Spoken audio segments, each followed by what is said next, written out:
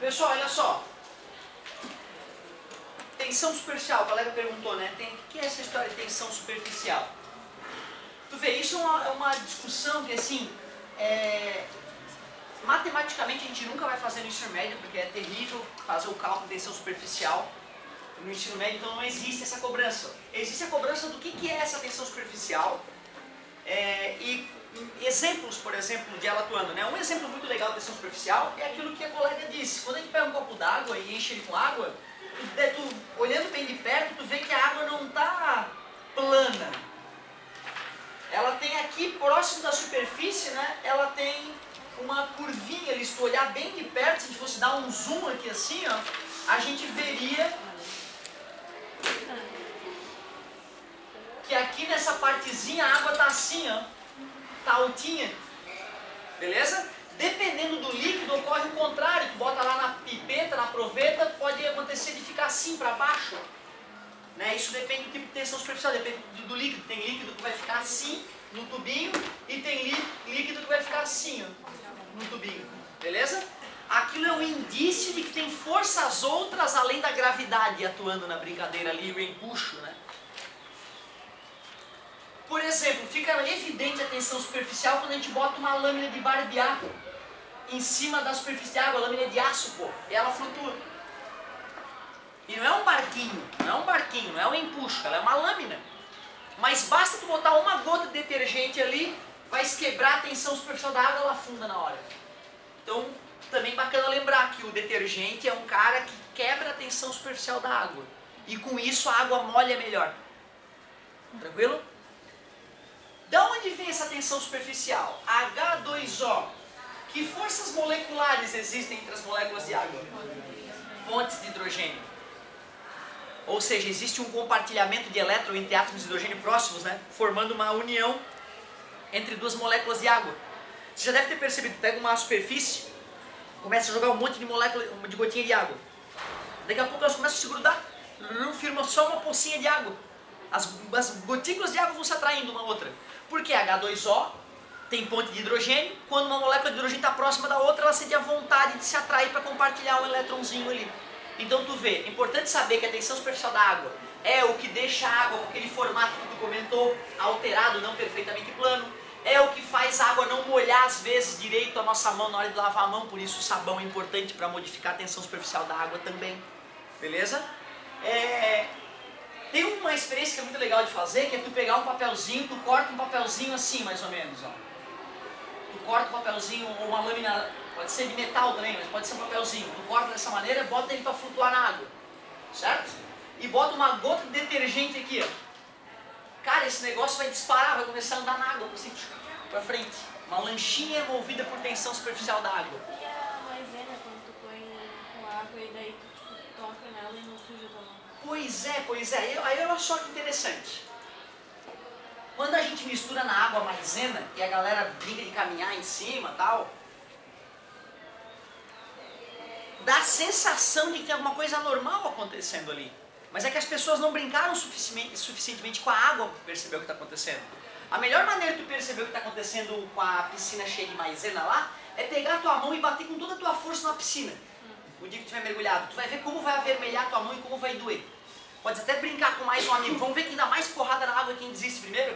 Depois de umas três pauladas na superfície da água, assim com a mão, tu vai, ah, não quero mais, não quero mais. Vai estar tá inchada, a mão vermelha e vai dar dor.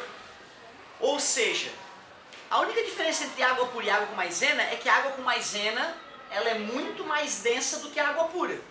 Ou seja, se eu tento deslocar ela, eu vou precisar fazer mais força, já que tem mais massa sendo deslocada. Então se eu vou lá na maisena e começo a fazer assim, ó, eu vou estar tá batendo com força no chão, vai ser quase como fazer isso aqui mesmo. Na água, eu até poderia fazer isso, mas eu teria que fazer com tanta velocidade contra o chão que meu corpo não consegue. Mas tu vê, é possível caminhar na água, não para o ser humano. Mas para um animal que tem as patas muito mais velozes que a do ser humano, é possível caminhar na água sem usar a tensão superficial da água. Diferente de alguns animaizinhos que caminham sobre a água usando a tensão superficial. Beleza? Certo? Pois não. É, eu vi um negócio que era a pessoa realmente caminhando sobre a água, mas usava tênis, tinha toda uma técnica. Essa técnica que eles usavam para andar envolve? É, É, na verdade eu também vi isso, só que eu vi no pânico. E quando eu vejo no pânico, eu automaticamente desconfio. E como nunca houve um ser humano que deu dois passos sobre a água, é fake. E parece muito Eu legal. É, não, mas é Discovery. Discovery quer ganhar dinheiro. Uma É, vez eu vi no então, Discovery o cara que descobriu que o Triângulo das Bermudas tem um buracos negros microscópicos que migram e desaparecem. Certo? Ó, um cara, né, de acordo com ele, ele achou um escravidão, um documentário, pra tu ver como os caras são mal intencionados. Um cara querendo provar que seria pegante. Isso, exatamente. Outra, chega um cara lá na Austrália, ah, não, sou campeão mundial de correr em cima da água. Porra, tu é campeão mundial, cara, sou. Oh, então tu pode vir no Brasil fazer uma demonstração pra você? Claro, cara, deposita a passagem e tal, tem mais o, né, o honorário ali, tu, eu vou aí fazer a demonstração. Aí ele vem, e na hora que ele vai brincar, a galera percebe, é, na verdade não caminha na água, né, cara? Tu dá dois, três passos ali, a posição da câmera dá a sensação das caminhando na água, mas tu afundou que nem um prego. Ah, mas é, esse é o nosso caminhar na água. Cara já está ali, o programa já está para ser filmado, vamos filmar. E aí, de repente, de- né, dependendo da maneira como é apresentado, dá a sensação de que é verdadeiro. Mas infelizmente não, a agilidade nas pernas seria muito maior que a do Usain Bolt lá para o cara poder caminhar na água. Mas não se esqueçam, um carro desliza na água quando pega uma poça d'água, né? Ele dá uma aplainada na água, esquiar. Esquiar na água é um exemplo do, do caminhar na água, né? E o cara esquia sem esqui, né? Com o pé no chão. Só que a lancha precisa ser uma, uma monstra de uma lancha para poder puxar o cara, né? Então cuidado com isso, a tensão superficial da água existe, tem vários efeitos interessantes. É, o detergente quebra a tensão superficial da água. Botando maisena, aumenta sim a tensão superficial, mas não é isso o mais importante. O mais importante é que fica denso. E quando eu quero deslocar uma massa com grande velocidade, eu preciso de grande força física, meu amor. Quanto maior a massa, maior a aceleração, maior a força. Por isso que se eu caminhar suavemente, eu vou afundar. Certo? Se eu caminhar suavemente, eu afundo na maisena. Eu tenho que caminhar batendo com força no chão. Beleza? Eu ia tentar espalhar a maisena com tudo. Como ela está grudada uma na outra, a força que eu precisaria seria enorme. Força suficiente para me manter em pé na maisena. Uma vez eu vi uma, um laguinho, assim, era muito pequenininho, só que um cara ele veio de moto de uma distância muito Sim. maior, assim, ele realmente conseguiu atravessar. Sim, sim, isso é absolutamente plausível. Né, eu, eu vi uma vez uma demonstração do cara pegou um bugzinho, um motor V8 Ninja e umas rodas gigantes e não era um laguinho, era, era, era um mar. Aí ele chamou um monte de gente para assistir, ó, a TV para filmar e ah, vamos ver se eu consigo, até quando eu consigo ir. E ele foi um monte, cara, ele avançou uns 200 metros na água. Só que na hora que foi perdendo velocidade, bluf, afundou, afogou o motor V8 dele, certo? Mas é isso mesmo, dependendo da velocidade, né? Eu lembro de estar esquiando e cair e chegar a quicar três vezes na água antes de afundar na água. Né? Então tu tá tão rápido que na hora que tu cai na água, tu bate na água uma vez, levanta de novo, tch, tch, que nem uma pedrinha quando a gente joga na superfície da água, certo? Então pode acontecer. Beleza? Alguém fazer uma última colocaçãozinha? Pessoal, olha só, mudando de saco para mala, página 7, estamos no volume 9 da Física C. Selecionei os exercícios que a galera pediu e coloquei as fórmulas clássicas aqui. Campo magnético gerado por fio reto, campo magnético gerado por espira, campo magnético gera- gerado por solenoide. Como é que eu sei para onde aponta o campo magnético?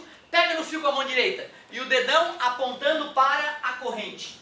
Só que essa primeira questão é de magnetismo. Observe a figura abaixo com atenção. Sob um ímã sustentado por um dinamômetro é colocado um segundo ímã idêntico, com polos opostos, se defrontando, sendo a força indicada igual a 0,2 newtons. O que, que esse dinamômetro está calculando, galera? O que ele está medindo?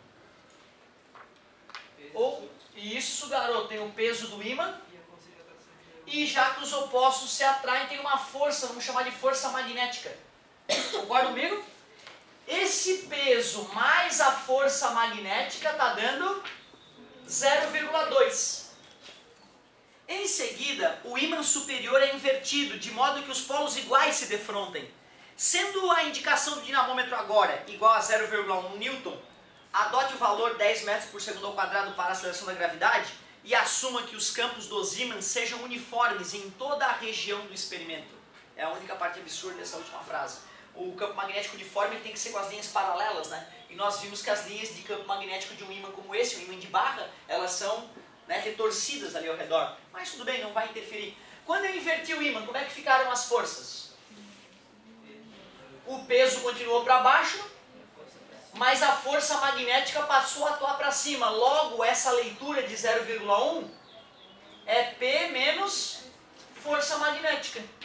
duas incógnitas, duas equações, isola numa? Ou, se nós preferirmos, podemos somar as equações. Assim a gente descobriria que 2P é igual a 0,3, o peso do cara 0,15 newtons, não sei nem o que ele perguntou. Determine a massa de cada ímã. Peso igual a M vezes G. 0,15 é igual a M vezes 10. Passa dividindo. Massa igual a 0,015 quilogramas. 15 gramas. Certinho? Então o detalhe era fazer o diagrama de corpo livre na situação 1 e na situação 2 para conseguir uma equação que relacionasse o peso e a força magnética. Questãozinha boa essa aí. Né? Embora a matéria seja simples, essa aí o cara já tem que estar tá bem ligado para matar essa questão. Muito bem, vamos para a 2711.